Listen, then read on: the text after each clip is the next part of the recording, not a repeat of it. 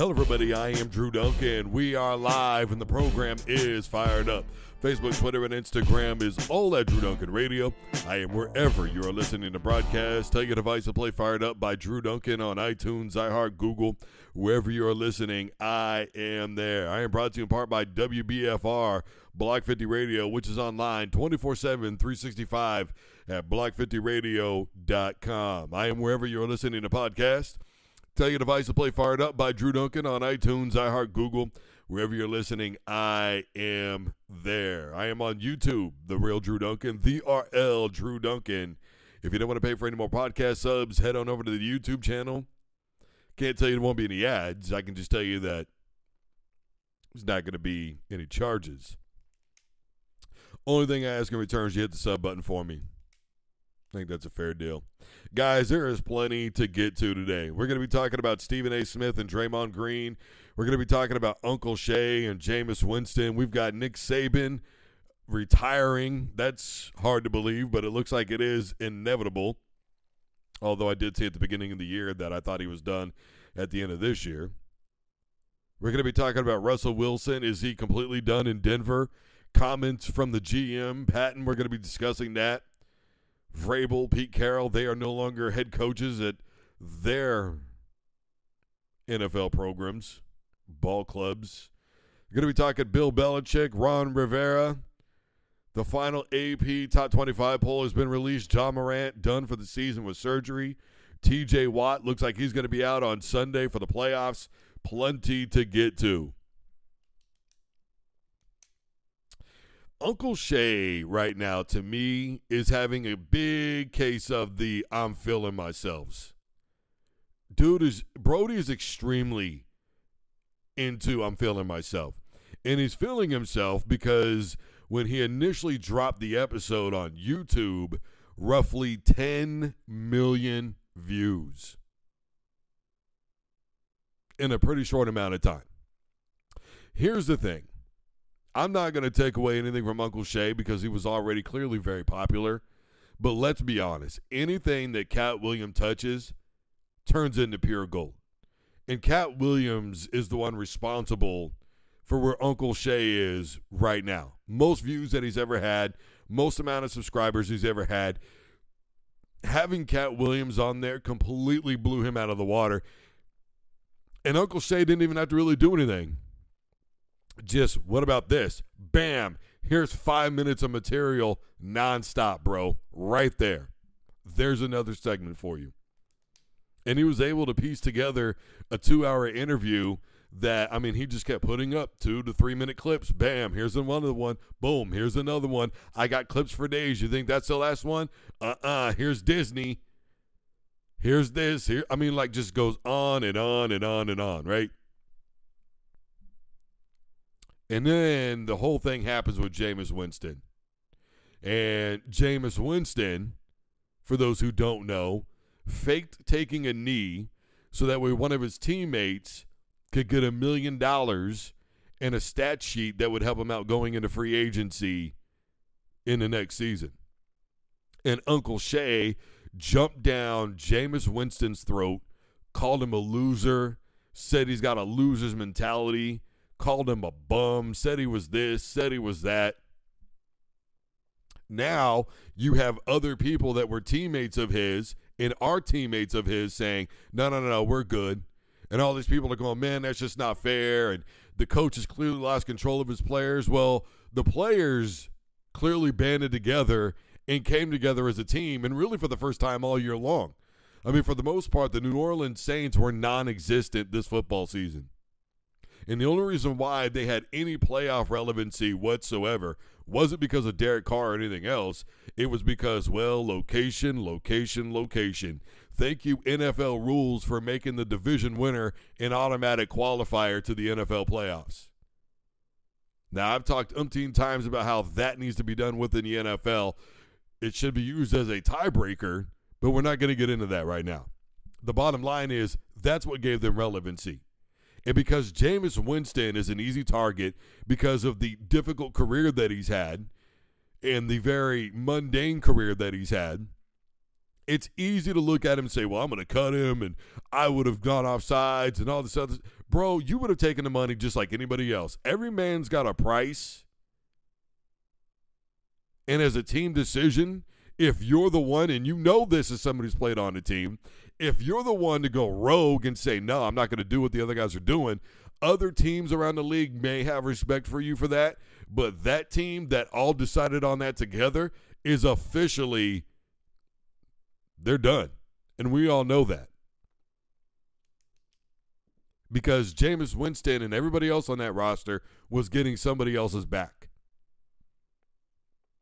And they never pointed at the head coach. And Jameis Winston took all the responsibility for himself. Said, "Yeah, I did it, and this is why I did it. If you don't, if it, if there's anybody out there that doesn't like it, that's just too damn bad. Because this is what I did it for, and I maintain my position, and I respect the hell out of Jameis Winston for that. And Uncle Shay was giving very outdated references, which again I partially get just because when you're doing that, you know, you start, you know, jumping out there and you're getting excited and intense and all that. You start throwing out things that don't exist anymore. You know, well, basically the same football team that you know Baker Mayfield got to the playoffs. I mean, it, it, that was true with Tom Brady, but not with Baker Mayfield. Let Let's be clear about that. Not with Baker. Okay. So, uh, I mean, again, it's just heat of the moment. That part of it, I certainly understand. But the rest of it, I, I just, and again, I partly understand where Uncle Shay is coming from. I get it. You could hurt somebody. That part of it, I 100% agree with. But everything else that was said, uh, again, Jameis is, a, is an easy target. He really is. That's why this is a thing.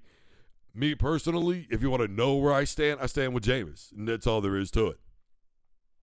All right, Stephen A. Smith, Draymond Green. Draymond got upset with Stephen A. because Steph Curry's leadership was called into question. And of course, Stephen A. was like, well, that's not what I said. That's not what I meant. Well, here's what Stephen A. said.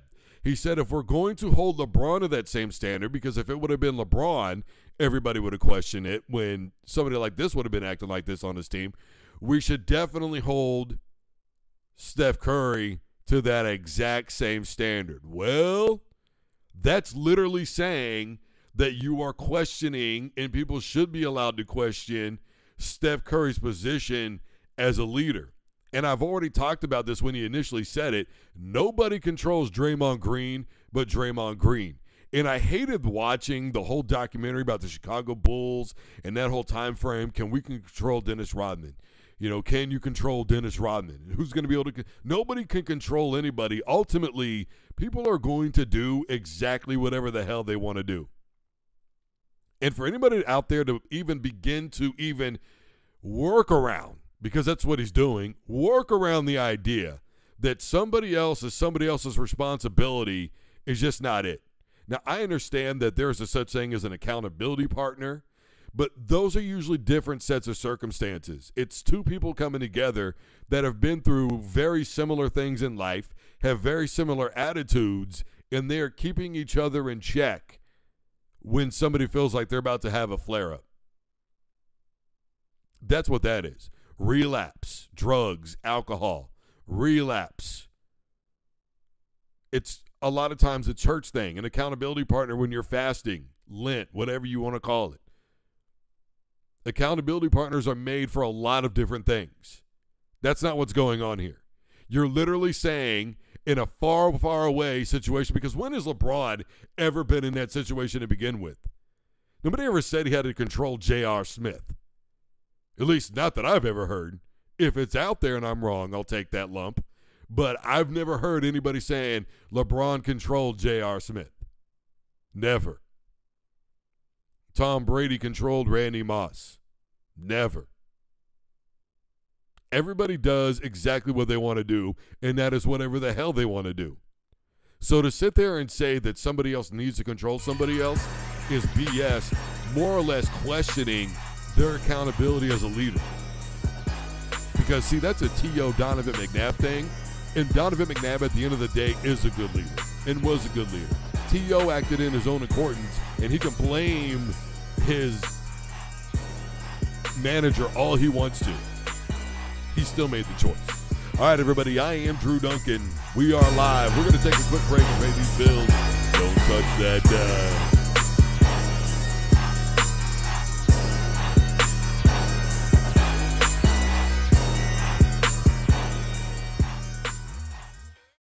Block 50 Global Radio.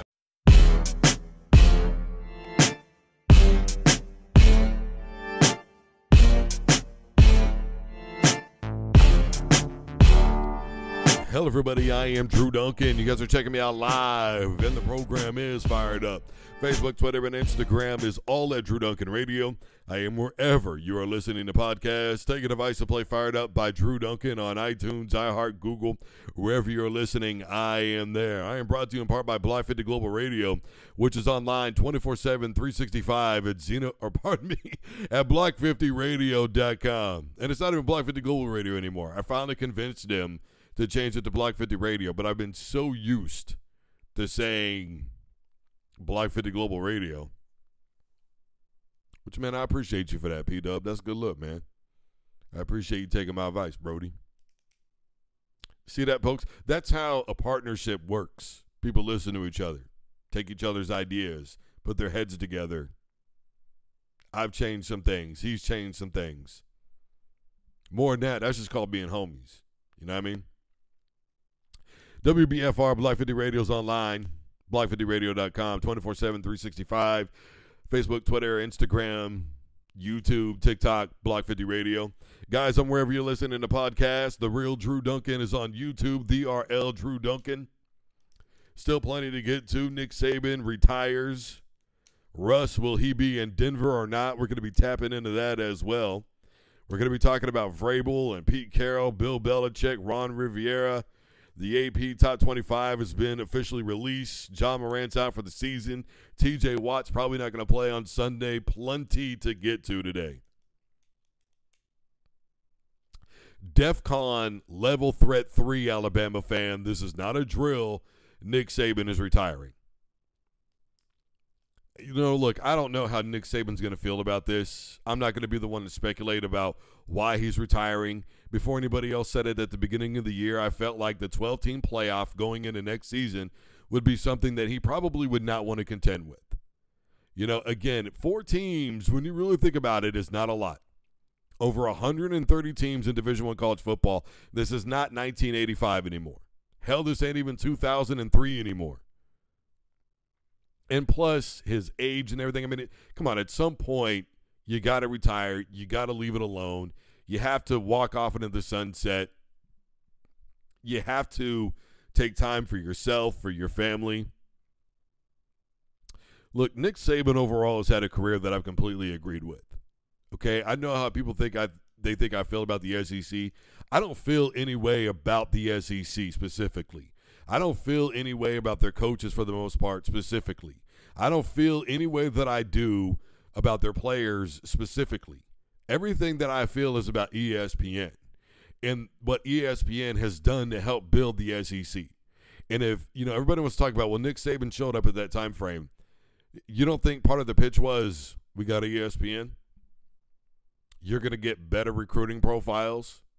You're going to get better athletes as a result of that. It's going to be a lot easier for you to coach around here.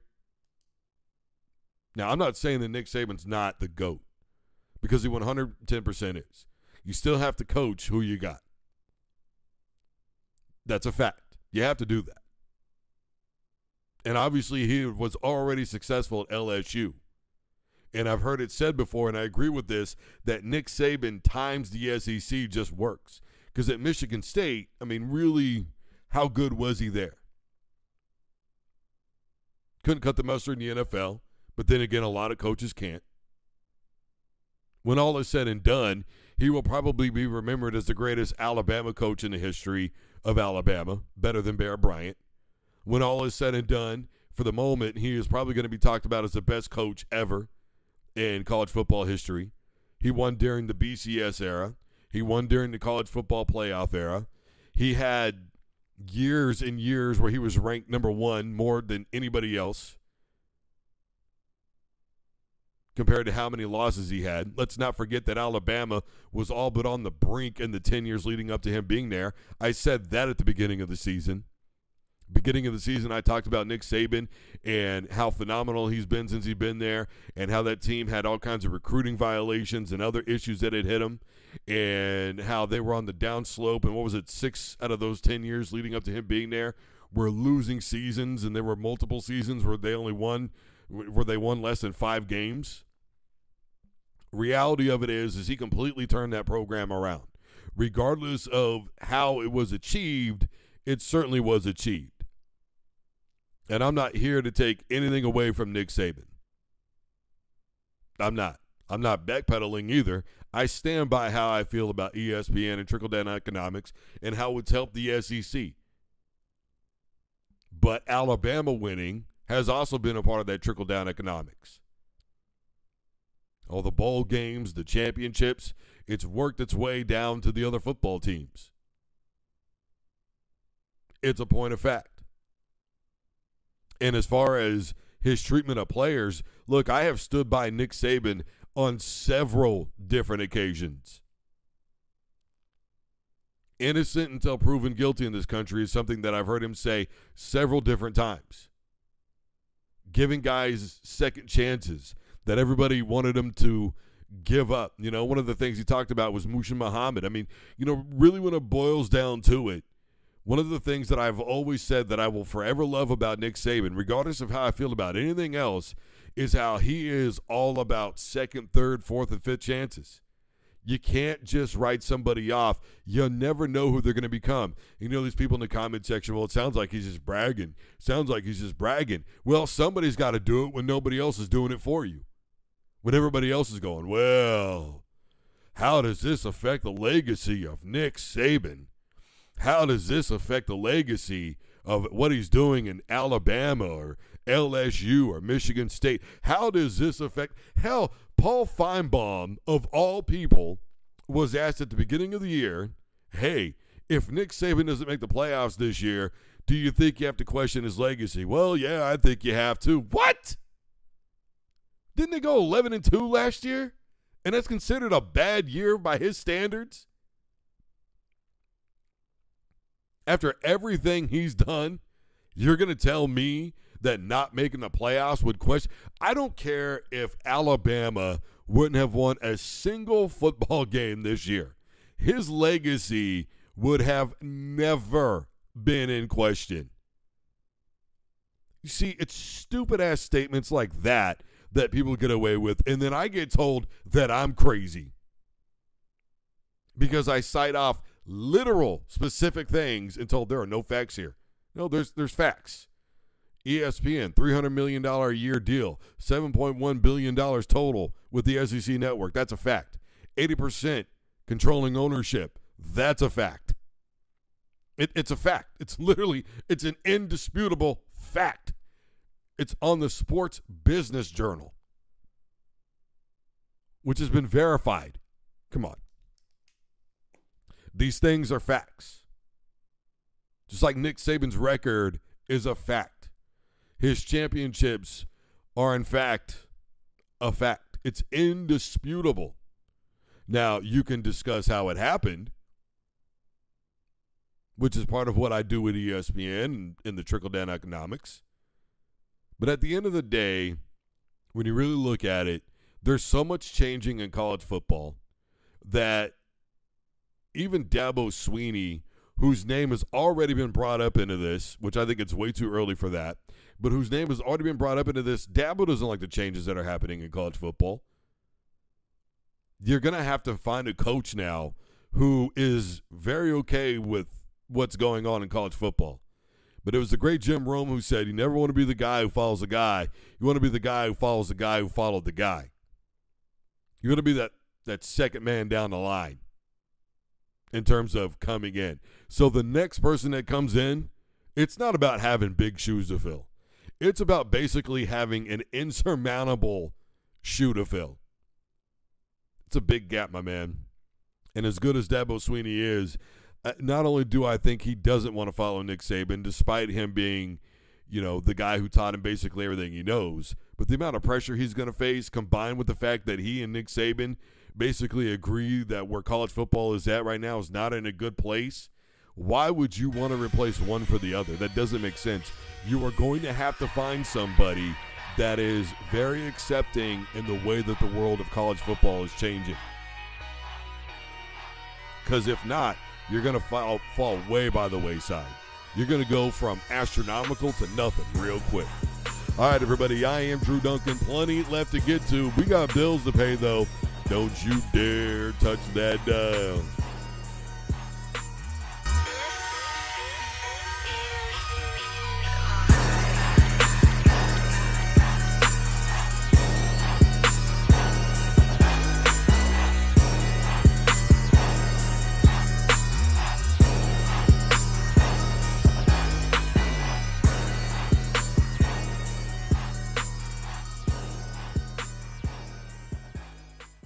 Block 50 Global Radio.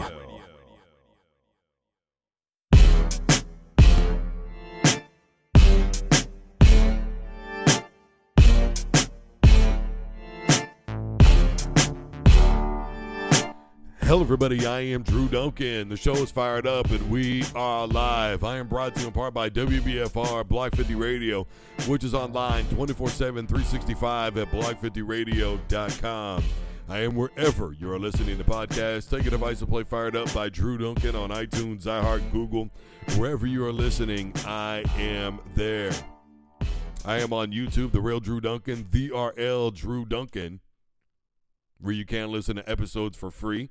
The only thing I ask is that you hit the sub button for me.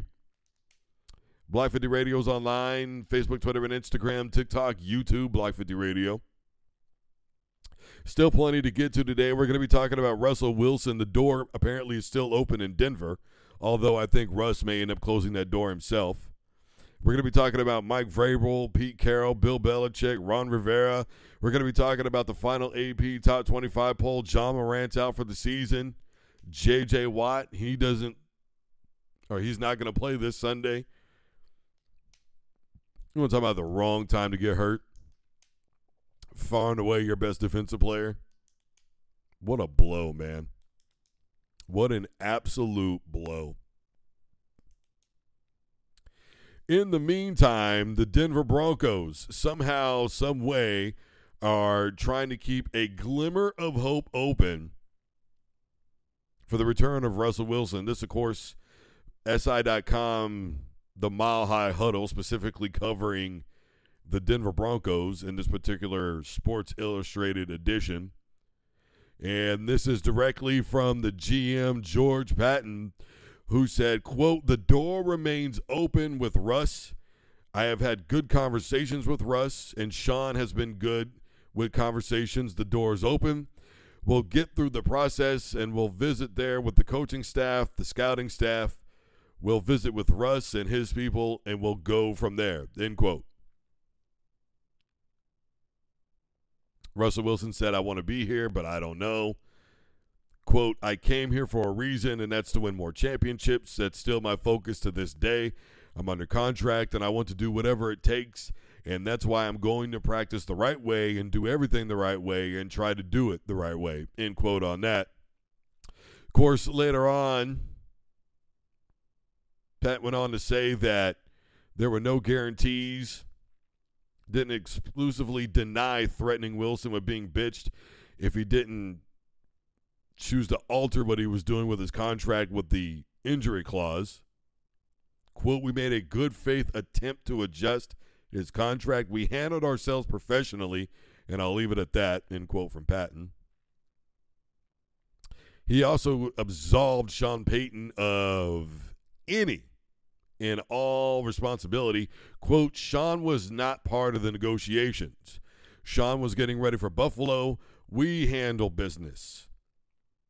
Rich and I in season. Sean is in prep mode and was preparing for Buffalo. End quote. That's what he says anyway.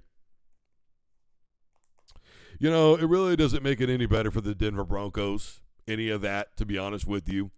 I don't think Russ is going to take too kindly to this, nor should he. Look, we're not talking about the money aspect, people. We're talking about the treatment of somebody. Let's not forget that this is Walmart, and we all know how their employees get treated, except for you know who when she signed off. Of course, then again, she went back to visit her old stomping grounds at Walmart, where people said hi to her. They talked to her. They said they missed her. It was out of control. Anyway, Sean Payton also claimed that he spent a half hour with Russ, claimed it was a good talk, yada, yada, yada. Which, by the way, he said that if the door wasn't open, he would have immediately said that. Try telling you guys, this is how Business 101 works. If there's no door open, people will just tell you, bye, there's no door open here. That's it. If it's still open, they'll keep it open. Believe me when I tell you. You know, when I talked about Draymond Green and Adam Silver and that whole thing. Look, it's really to me going to be more about whether or not Russell Wilson wants to be there. It's going to be to me whether or not he was willing to risk putting up with more BS. Because Sean Payton did something to him over the course of the season on more than one occasion that we never at least saw him do with Drew Brees. And that was yell at him on the sideline.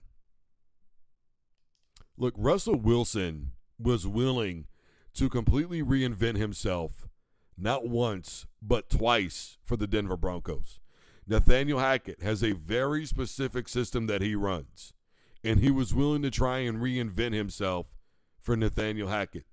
It doesn't work out with Nathaniel Hackett. Sean Payton comes in, and what does he do? He once again completely reinvents himself for another system and another coach and another way of doing things. If Sean Payton never wanted Russell Wilson, then he should have never accepted the trade. That's it. That's all there is to it. He should have never been okay with him going to Denver. You know who's there. You know who that starter is going to be. You think you're just going to be able to wake up one morning and go, we're going to start Stidham over Russell Wilson, regardless of what the, the fans were calling for? The fans don't get that offensive line was absolute garbage last year. The fans don't get that Nathaniel Hackett had some of the worst play calling skills that I've ever seen in my life, but because he had a stacked ass roster in Green Bay and Aaron Rodgers as a quarterback, he looked like a really good play caller. But he got exposed again with the Jets. All because he wants to protect his boy Aaron. Look, the reality of the situation is this Russell Wilson should no longer be in Denver. Once you get treated like this, I'm willing to go anywhere and everywhere but here. And I got news for everybody. The Giants are probably looking for a quarterback. Daniel Jones is not going to he's not going to end up playing out that contract. It's not going to happen. Now, I don't know that a trade would happen between Denver and New York, but I got to tell you, it, it, with no Saquon Barkley, I mean, you've got to make a really big move here if you're the Giants. Do you have a very good looking roster? Well, you know, I don't think that defense is as bad as people say that it is. I don't think that offensive line is as bad as people say that it is. I think Russell Wilson with the New York Giants will be a very good fit. I think Russell Wilson with the Arizona Cardinals will be a very good fit. I think down in Louisiana, maybe with the New Orleans Saints, could end up being a very good fit. I mean, come on, you you really want to keep Derek Carr for Russell Wilson? No, no, no. We don't want Russ. We'll we'll keep we'll keep DC. I mean, come on, man. I, I know that I, I'm on Jameis Winston's side with what's going on with him and Uncle Shay. That doesn't mean I think he's a number one QB. Not not on ninety percent of the rosters in the NFL anyway. He's definitely a backup. That's all there is to that. I absolutely think. I mean, any of those three places. I mean, that's just off the top of my head. I know that there's a lot of places right now, rookie quarterbacks that are going to want to finish out those contracts. Buffalo, if Josh Allen can get it done, win a playoff game or two, he he gives himself a little bit more time. And even then, the way this season ended, probably gives himself a little more time. But at least one playoff win probably gives him another another year. I just think that New Orleans, the Giants, and the Cardinals would probably end up being the best situation for him. Even though the Cardinals are probably going to have a coaching change, you know, Jim Harbaugh is out there, and depending on what Jim Harbaugh does believe me when I tell you, Russell Wilson and his people, which is what Paton just talked about, they're probably looking to see what Jim Harbaugh is going to do. Have his people contact Jim Harbaugh's people when they make a move. Hey, man, let me put a feeler out there. How would you feel about Russ coming over? Wouldn't be surprised if Harbaugh ended up in Denver with the Giants, with the Cardinals. There's a, a vacant spot now down in Atlanta. Right? Arthur, he's out. There's a vacant spot in Tennessee. A million and one possibilities, guys. All right, everybody. I am Drew Duncan. We got bills to pay. We're going to take a break. Don't you dare touch that dial.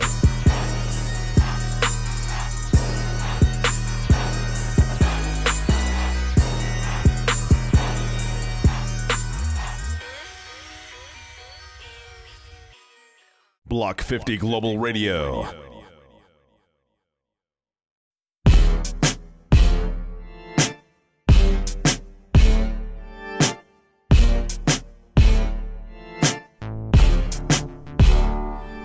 Everybody. I am Drew Duncan. The program is fired up and we are live. Do not forget that I'm brought to you in part by WBFR Block 50 Radio, which can be found online 24 7, 365 at block50radio.com. I am wherever you're listening to podcasts. Tell your device to play Fired Up by Drew Duncan, iTunes, iHeart, Google. Wherever you're listening, I am there. I am on YouTube, The Real Drew Duncan, the RL Drew Duncan, where I do post entire episodes for free. The only thing I ask is that you hit the sub button for me. Still plenty to get to today. We're going to be talking about Mike Vrabel and Pete Carroll. We're going to be talking about Bill Belichick, Ron Rivera. We're going to be talking about the AP Top 25 final. Ja Morant's out for the season. TJ Watt is out in the playoffs this coming weekend. Still plenty to get to today. Look, there is a point in time where it's just time, right? It's time for everybody to move on. Everybody needs a fresh start. Everybody needs to go at some point, right? Now, in this particular case, I don't think it could be said any more truer about two coaches than Mike Vrabel and Pete Carroll. Now, obviously, Pete Carroll has way more clout than Vrabel does, right? I mean, obviously, back to back Super Bowls, the Super Bowl dominant win over the Denver Broncos that people are going to bring up time and time again, the defense that he orchestrated with the Seattle Seahawks. Russell Wilson, he was a backup at the time. Let's not forget that Russ was making, I think, $800,000 a year as a backup. And I think it was Philip Whitehurst that was the starter that was making like a million and a half or somewhere in that neighborhood and wasn't doing anything. Russ comes in, and a lot of things change. Then, of course, when Russell got his first really big contract and the Seahawks started having problems, one of the things that was brought up was can Coach Carroll coach a million dollar quarterback, a hundred million dollar quarterback, let alone. It's a statement that I don't agree with necessarily, but I also get it. Someone who's making a hundred million dollars, it's really difficult to get them to do what you still want them to do, right? So part of me gets it. Part of me also thinks that's the dumbest thing that I've ever heard in my life. You can either coach or you can. I mean, it's it's the NFL level. Everybody's making money. I mean, what's the minimum league stipend? Little over 700K, right? I mean, come on. Everybody's making money in the NFL. Now, granted, there are people that are making a ton of money in the NFL, i.e., Patrick Mahomes, Lamar Jackson, etc. But his coaching has come into question. They've had some really good second halves of the season after starting off pretty slow with Russ. But the bottom line is, is Pete Carroll is probably the best coach that Seattle's ever had. And I don't think that there's really any two ways about it. And, you know, one of the things that I constantly talk about when it comes to moving on from coaches and how are you going to handle that situation, sometimes you got to do something like, look, we're, we're going to keep you on as something. We'll, we'll give you a position in the front office. We're just, we're ready to go a different way. And so, what is Pete Carroll going to do? He's going to stay on as, quote, an advisor with Seattle, which is probably a way of saying, we're going to have you coach without you coaching. Really, when you think about it. Or it could be a really nice way of saying, we don't really want you here anymore, but if you want to advise, just kind of like stay over there, but, you know, kind of watch what's going on. You know what I would do if I were you in this situation? I'd, you know, da da da da da. All right, man. Thanks for the input. Back back over there you go. You know, again, what what Pete Carroll's in his seventies, isn't he? I mean, I just I can't imagine working into my seventies. I mean, I see it all the time with all these elderly people, like at Walmart and places like that, and I just think, you know, it's really unfortunate because I really believe that they should be able to enjoy the later part of their years having worked all that time, just go it. You know, Pete Carroll for a guy his age still has a lot of energy. I mean, it's really kind of crazy to me to be honest with you. I don't know what that guy's regimen is, but whatever it is, I probably need to get on it because that dude has an infinite amount of energy. Infinite amount. It's been insane. It's actually really impressive, to be honest with you. I'm kind of jealous of it, is what I'm saying. I'm 40 years old. And I'm just like, damn, bro, where do you get it? But you know, when you take care of yourself and you stay healthy, look, there's going to be a lot. Bottom line is, is there's going to be a lot here about Pete Carroll's career, right? You could go with how it didn't work out initially in the NFL, and then all of a sudden it did work out in the NFL. You could talk about how it worked out in college for him, you know, with USC, but then people are going to talk about scandals, which has been misinterpreted.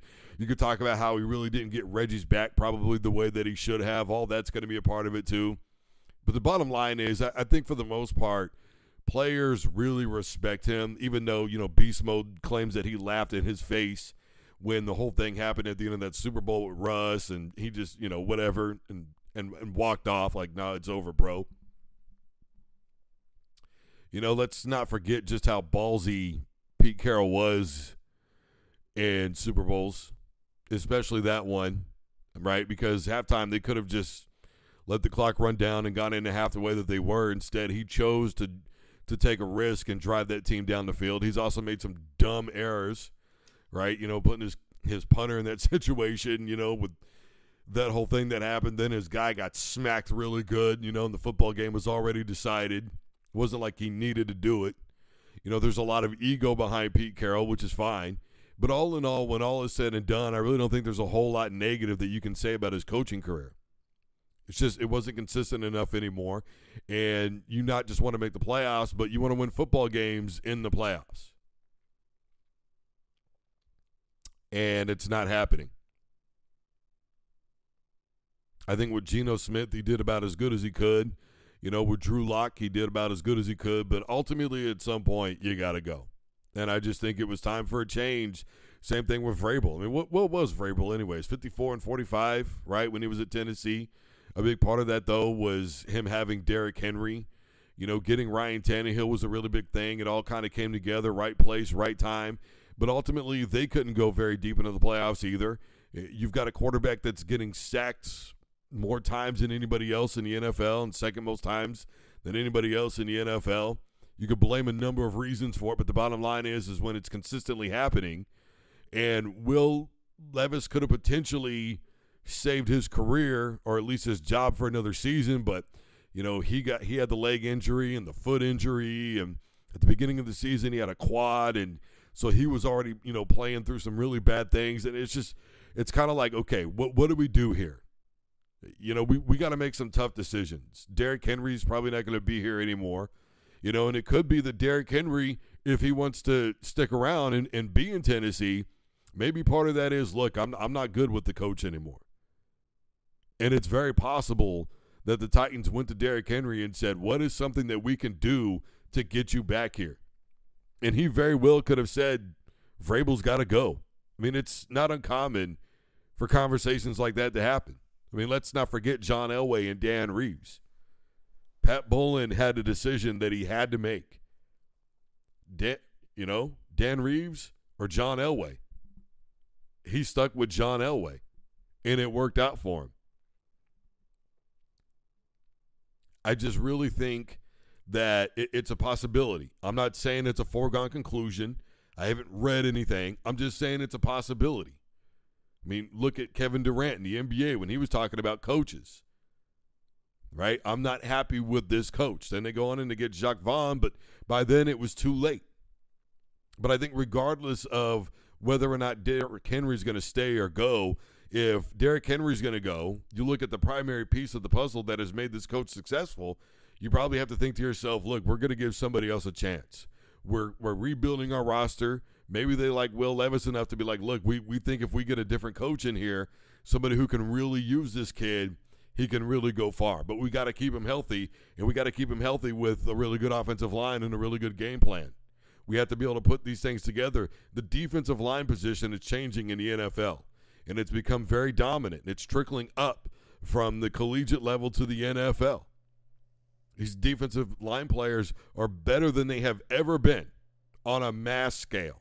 Don't think I'm disrespecting Bruce Smith or Deacon Jones or Reggie White or any of those guys. I'm just saying on a mass level. You know, it's a big deal. So, you know, who knows? Again, Harbaugh's out there, so we'll see what happens. All right, everybody, we got to take a break. We'll be back. Don't you dare touch that dial. Block 50 Global Radio.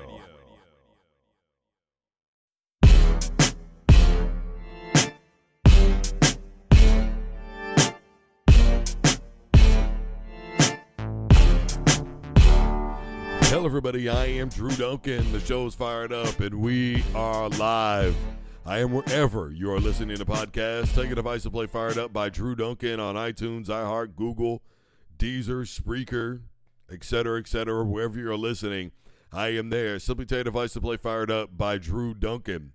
If you don't want to pay for any more podcast subs, head on over to my YouTube channel, The Real Drew Duncan, The RL Drew Duncan, where I do post entire episodes for free. Can't promise there won't be any ads, but I can certainly tell you that it'll be for free. The only trade off I would like is that you go ahead and hit the sub button for me. I am brought to you in part by WBFR Block 50 Radio, which is online 24 7, 365 at block50radio.com. Facebook, Twitter, Instagram, YouTube, TikTok. It's all Block 50 Radio. Still plenty to get to. We're going to be talking about Bill Belichick, Ron Rivera.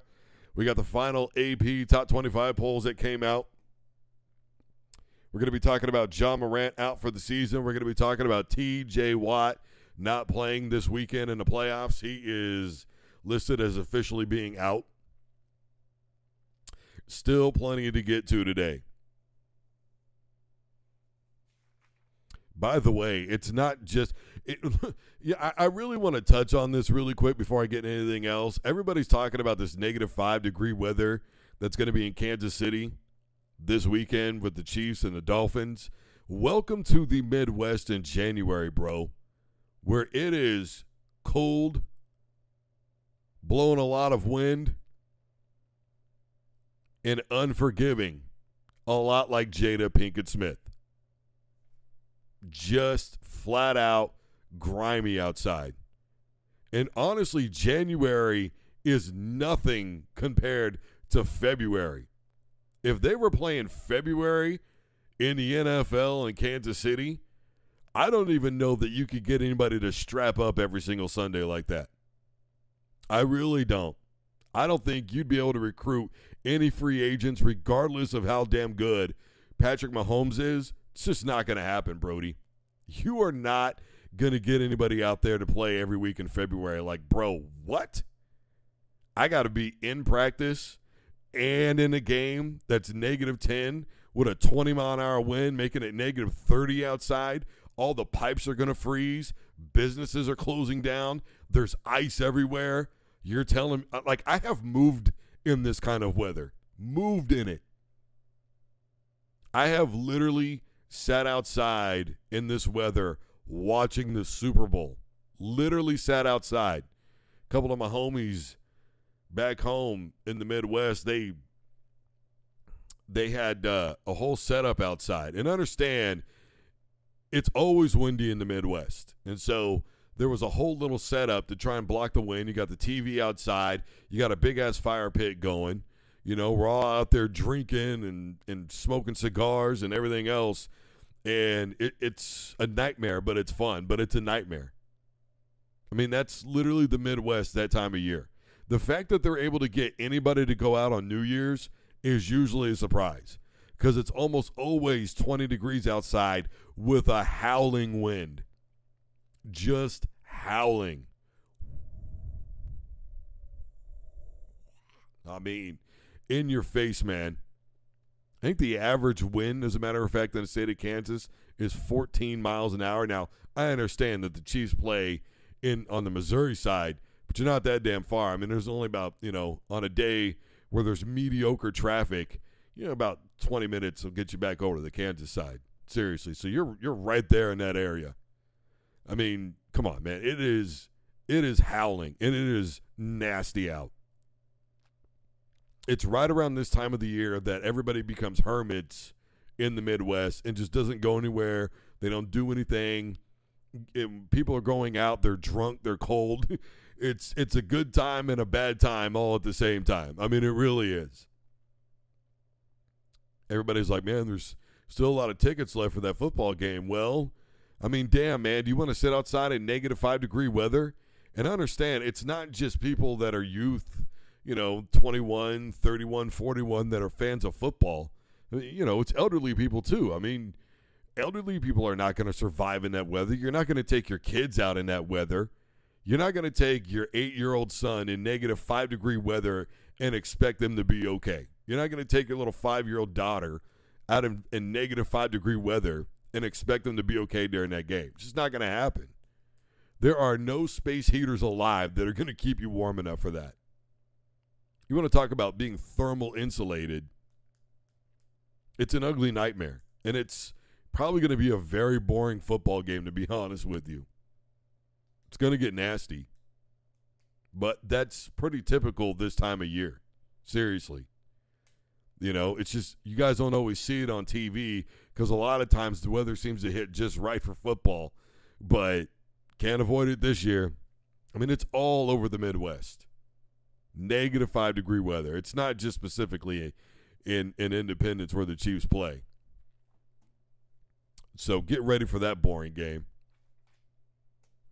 Uh, Ron Rivera, Bill Belichick. Look, Bill Belichick. It's it's been questioned. It's been talked about. You know, much like with Pete Carroll, I think it's just time to move on.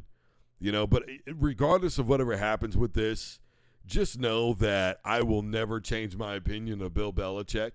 Phenomenal defensive mind, very hard nosed coach, understands letting the players be players while also like, hey, look, man, we, we need you to keep everything on the low. Everything's got to be under wraps.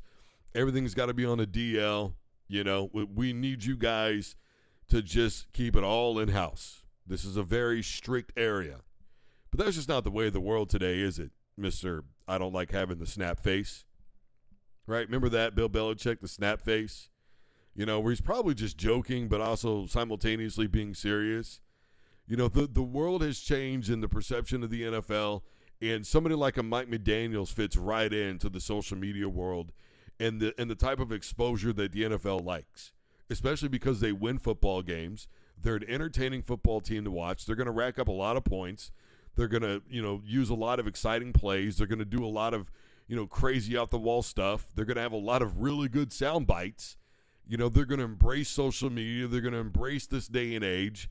Whereas Bill Belichick just sort of wants to coach and, and, and coach football and do football like Bill Parcells and that be it. Well, that's just that's not the way of the world anymore, is it? And it hasn't been for a very long time. And the more it's less like what Bill Belichick knows, the more it becomes difficult to relate to players. And that's just a point of fact. And when you start being in, unable to relate to players, then all of a sudden you're just kind of that grumpy old coach that nobody wants to be around. They respect you because of your history, but do they really want to like come and play for you? Because how many cold ass games have we seen in New England? Again, that's another thing. It's cold, it's windy. Why, bro? You know, it's probably just that time. And with, you know, Ron Rivera, look, he has fought cancer. He has done so many amazing things. Obviously, had that one really good season in particular in Carolina, 15 and 1. You know, they they had the other year that I think he was the head coach for, you know, where they started out was at 1 and 3, 1 and 4, peel off 11 wins in a row, but they would lose in the first round of the playoffs. You know, I, I just I'm not really sure it's time for him to be a coach at all in the NFL. I'm sure there's some sort of involvement that he can have. You know, given his heritage, he's one of the few that has made it as far as he has. And I know that a lot of people with his heritage are very proud of what he's accomplished. And he's a good dude. He really is. I mean, I, I don't think there's really anybody that has anything negative to say around him. I mean, it's not like Bill Belichick, where he's going to retire and, and have all these rings, but all this you know, conspiracies and, and allegations and all that are going to be hanging over his head. If he walks away now, it's quiet, sure, but it's also respected, I think. You know, even though it hasn't been quite the career that he wanted it to be, it's still been a pretty good one. And the fact that there's really nothing looming as far as we know over his head it's just one of those things where he's just not able to win football games. And winning is the only thing that matters in the NFL. It doesn't matter how much they love you. You know, look at Pearson, what's going on with the Raiders right now. It just it doesn't matter. Mean, look at what happened with the guy before Josh McDaniels. Players loved him. He got him to rally. Unfortunately, sometimes winning doesn't even matter. All right, guys, we got to take a break. We'll be back. Don't you touch that dial.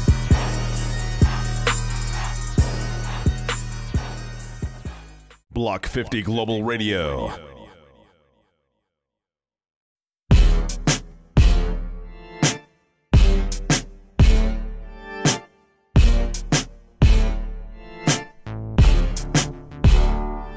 Hello, everybody. I am Drew Duncan. The show's fired up and we are live. Facebook, Twitter, and Instagram is all at Drew Duncan Radio. I am wherever you're listening to podcasts.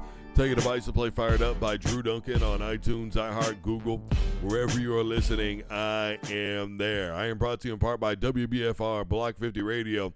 They're online 24 7, 365 at block50radio.com.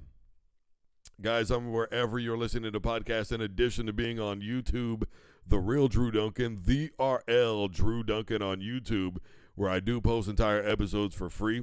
I, you know, I'm not going to tell you there's not going to be any ads, but free is free. And the only thing I ask in return is that you go ahead and hit the sub button for me. Still plenty to get to. We're going to be talking about the AP Top 25. Ja Morant's out for the season. TJ Watt, season, seasoning, season. he's out for the season. My goodness. TJ Watt doesn't look like he's going to be playing this weekend, so he's officially listed as out with the Pittsburgh Steelers. We're going to be getting into that as well. The AP final top 25, Michigan unanimously was number one. Look, before I do, I, I got to tell you, I, I miss the days when honestly the coaches still voted on the national champion. And, and the playoff was essentially created in that if the coaches poll, if the coaches didn't want to vote on the national champion that year, they didn't have to. Now the coaches still put out a poll every season, but they they don't have the pressure of yes, we would like to vote on a national champion this year. Of course, you know, over the years and years and years, it was pretty much the same controversy that we see now, right? You know, was there bias towards their own team? Was there bias towards their conference? You know, Lane Kiffin had to remove himself from, you know, the coaches poll after he voted his team number one several times, fairly undeservingly as well. That whole thing got busted out, so he decided to step away. He was a perfect example of of why that whole system was done away with. You know, and it used to be the because the AP poll came into existence, if I remember right, like in the '90s, right? I think it was '98, and during the BCS era, they would take the computer system plus the AP poll plus the coaches poll, and then it would it would tabulate who who the number one team was, and the coaches poll superseded the BS or BCS championship series anyway. So the coaches still decided on who the national champion was every year, and you could always have a split title between the coaches poll, the AP poll. You know all that, but now it's just pretty much the AP poll, which is there, and of course the Associated Press list each individual voter who they voted for, you know, now, which is nice. I mean, you have that that clarity, you know, in terms of who's voting, but I, I just something about the days of the coaches deciding on who the national champion is. There's just something about that nostalgia, I guess. You know, and and my thing has been, you know, especially now with this thing with Florida State, I don't think it's going to get much better, even with the expansion of the playoff and making it 12 teams. I, I really sincerely do not think it's going to get any better. I think we're still going to see a beauty pageant. I think we're still going to see undeserving 10 and 3 football teams get in over undefeated football teams. I think it's inevitable that it's going to happen. Now that you've opened up this door, this Pandora's box of, well, you're missing a quarterback, so that means we don't have to vote you in by our own little bylaws. So now we're just going to go ahead and take this team. It, it's going to really be damaging to college football. I, I, think, honestly, they should really follow more of an FCS system. If I'm being honest with you, I, I think that would be appropriate at this point. But, you know, who am I? Again, I've always said that I think the there needs to be at least 16 teams in, in a playoff system. Uh, pretty much everything after that, you're dealing with the same team. You know, it, it puts in somebody that's a Liberty, somebody that's a UCF, more than likely anyway. And I, I, think if you went back to the the coaches poll and the AP poll, and you put those votes together, then I, I think we would have a system that would see a lot more of that. But then again, it's not a perfect world, and I just think that if they adopt an FCS more style of of playoff, then I you know there would there wouldn't be so much scrutiny. I don't think you know. But even then, I like I've said a million times over, I think the NFL should change how they do playoffs. You know, it doesn't need to be AFC versus NFC. It just needs to be a Super Bowl. And it should be the top 14 teams, the best records. You know, tiebreakers are things like head to heads. Tiebreakers are things like winning your division, but winning a division should not automatically guarantee you a place in, in the NFL playoffs. I just don't think that should be a thing. You know, there's only been one nine and seven football team since the 16 game era back in like 85, maybe before that when they did that 82. There's only been one team that's ever won a Super Bowl, and that was Eli and the Giants. They were nine and seven that season. It's only been one. It's been I don't want to say how many years, but damn it, it's it's been a couple. It's been some decades. Let's put it that way. How about that? We'll go with it's been a few decades, but I, I just I think that that's what needs to happen. You know, regardless, it's just kind of crazy to me. You know, you look at this final poll from the AP. I mean, obviously, you're going to have Michigan unanimous number one. Still had Washington at number two, despite their performance. Texas at number three, bit of a shocker to me. Now, I guess what they're saying is, is they believe that Texas would beat Georgia because they got Georgia at number four. They dropped Alabama down to number five. And by the way, Oregon was at six, but they had enough votes, oddly enough, to tie with Florida State. So Florida State and Oregon both finished number six. Then after that, you got Mizzou, Ole Miss, Ohio State. I think for me, again, a big part of the problem is because, I, I well, you know, you look at the top 16 12 anyway Ohio State, Arizona, LSU. Then after that, you got Penn State, Notre Dame, Oklahoma, Oklahoma State. I guess for me, a big part of the issue is really when you look at it, it really you, you go to the top 11 at that point because you'd have to stop at Arizona because two teams are split at number six. Is the look the one good thing about this system is you don't split a title, right? But I, I still just think that given looking at that, I think people are still in their crosshairs. And it's amazing to me that Texas will be ahead of Georgia. I, I just I and, and, you know the other thing is how many people opted out of bowl games this year? You know, we we only talked about Florida State and everybody that opted out for Florida State. We didn't talk about all the other teams that were down to their third and fourth string quarterbacks. We didn't talk about other teams that basically had their practice squads in there. We didn't talk about other teams that, you know, their their main running backs and linebackers were hitting the portal or going to the NFL or opting out for whatever reason. We're just solely focused on Florida State. And a lot of these bowl games really just don't even matter. And so to me now, with the rankings as they are, I guess you could say that's what a lot of them are potentially going off of. The information that we have is maybe Texas could have beat Georgia. I, I just I even the way Georgia beat up on a battered Florida State team, I don't know that I would put them behind Texas, man. I just I have a big problem with that. I have a really big problem with that, as a matter of fact. And I have a really big problem with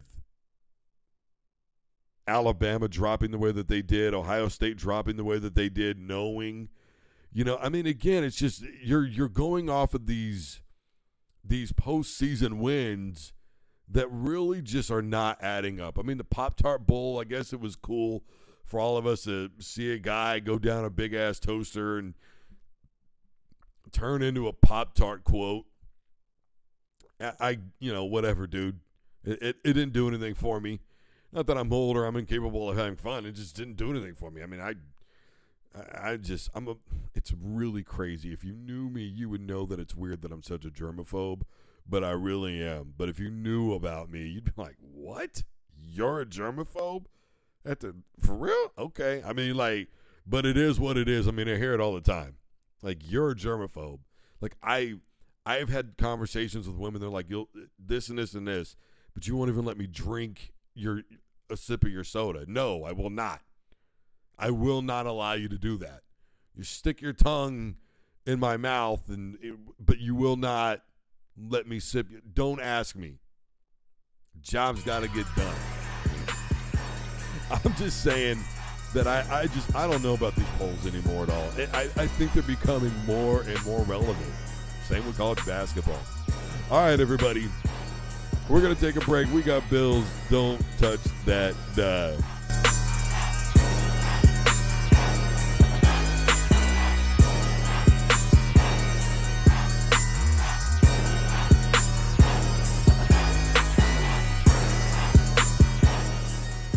Block 50 Global Radio.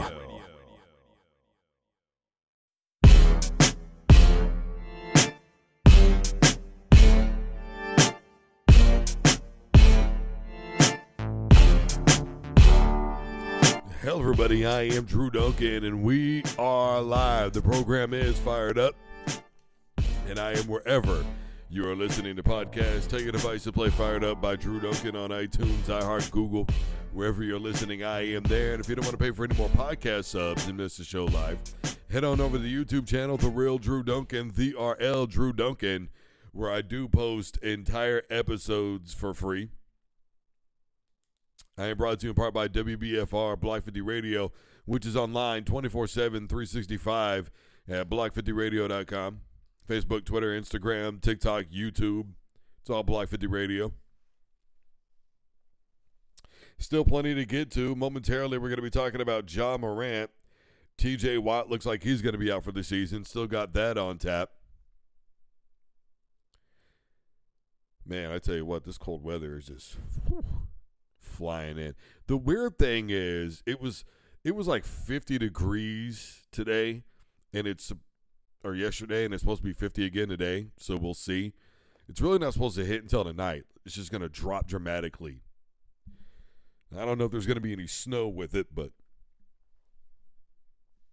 you never really know around here, do you? It's cold everywhere right now, my man. But the only one that matters, though, is the Kansas City Chiefs, right? Yeah, I just.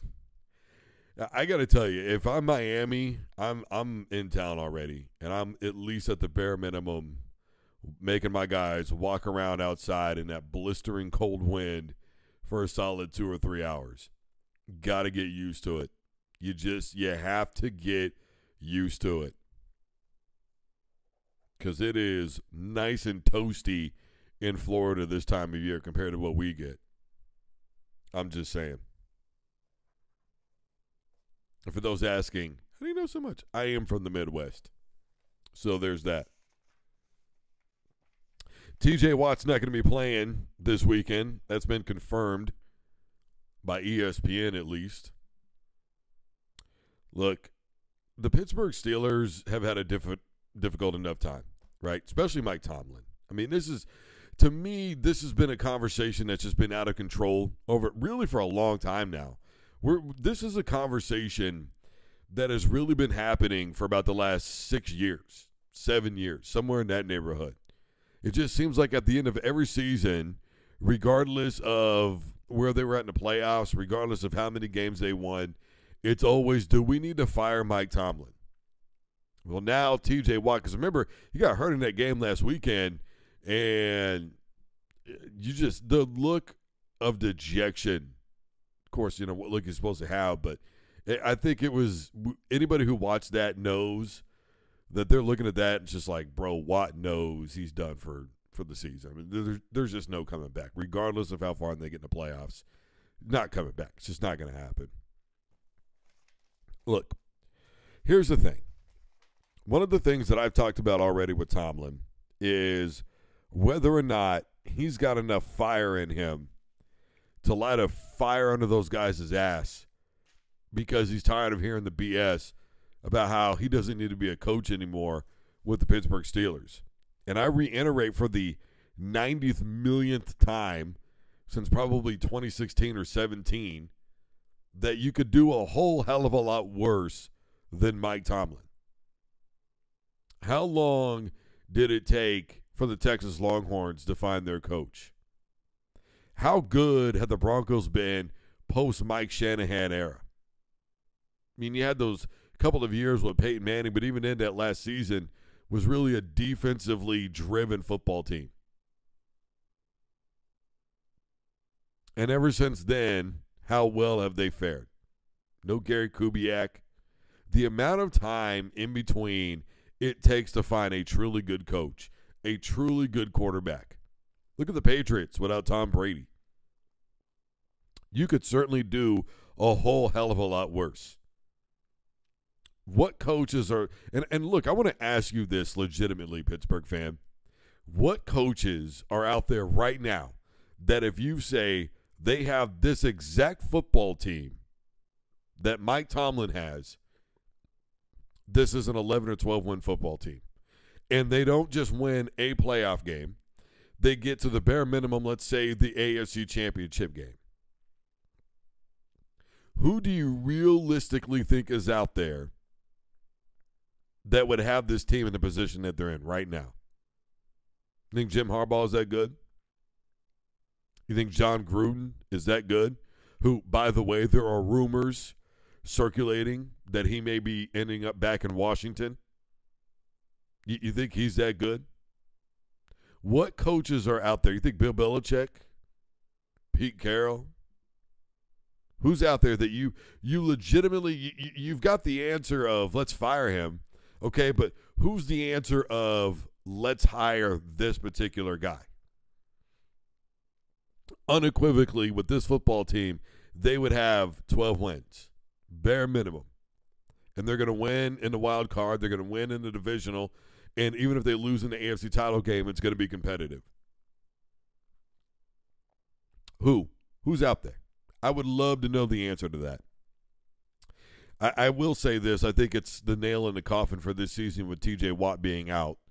This team has somehow been able to win a lot of football games over the years 17 consecutive seasons, never a losing record. It's unheard of in the NFL because it's never been done before. But I, I do think, though, that's probably it. I mean, any glimmer that Pittsburgh had winning that football game I think just flew out the door with TJ Watt not being able to go. Because if he's not able to go, it's that was probably a season ending injury anyway. Speaking of season ending injury, Ja Morant, he's out for the year. Not that the Memphis Grizzlies were doing anything before he showed up or even afterwards. I mean, he, you know, Ja Morant did what he did, man. I mean, he had some really spectacular highlights and they looked okay. And there was a thing with the Lakers. Uh, then what? You know, I mean, look, Ja Morant has already got enough around him. There were already rumors, as it is, that Minnesota, or pardon me, that Memphis may be looking to move on. Uh, I just, I don't think that with him being out for the season that he's a viable trade option before the deadline. I mean, who's going to want to take a risk on it? Because literally, you're going to be paying a guy that you know is not going to play this season. So you're going to have to be exceptionally welcome to the idea of, well, we know this year nothing's going to happen, but next year we can make a move, get some pieces, whatever the case may be, put somebody around him, somebody's, whatever the case may be, and we can make it happen. Me being a Knick fan, I would love to see him with the Knicks, although I don't think he would quite fit in, but it would be nice to have that guy that can drop 50 on you at any given moment, not just once in a while, although a New York Knick has done that this year. And regardless of what Stephen A says, there are New York Knicks out there like Jalen Brunson that are megastars. So there's that. Look, I just I, I think the Memphis Grizzlies are in a tough situation because there's really nowhere to go for the rest of this season. You're, you're clearly not going to make the playoffs. I mean, if, if that happens, then I'm wrong, fine, but I, I just don't see it happening. You, you lost any real defense that you had when you decided to let go of Dillon Brooks and use him as your scapegoat. Now look at what's going on in Houston. You've got no offense now without Ja Morant. What are you going to do? You're not going to be able to trade him. I mean, you want to talk about an ultimately lost season because he was suspended, as we all know, to start the year for all the stuff that happened last season.